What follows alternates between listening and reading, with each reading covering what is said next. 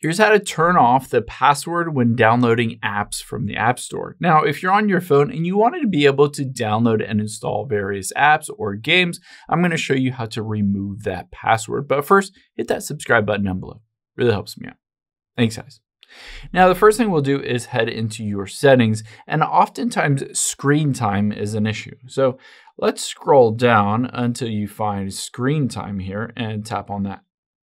Now from here, let's again scroll down and you can see content and privacy restrictions. Let's tap on that.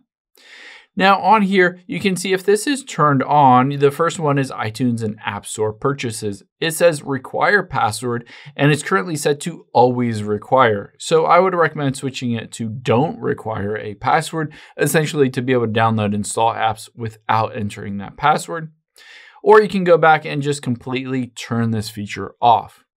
Now, after we've done that, let's go back out of here. And from here, you're going to tap on Face ID and passcode midway down.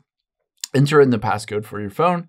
And now there are a couple options on here. One is it says use Face ID, iTunes, and App Store. If you wanted to be able to use your Face ID to download and install apps, you can leave that on. Or if you didn't necessarily want to be able to do that, or you don't need to do that, then you can always turn that off.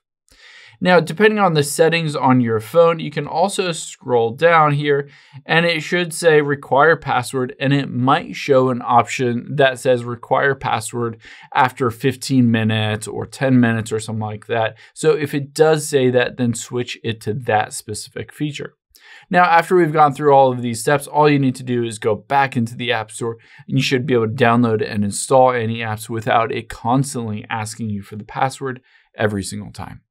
I hope this helps. If it did, hit the like button down below and leave a comment if you still have any questions. Thanks, guys.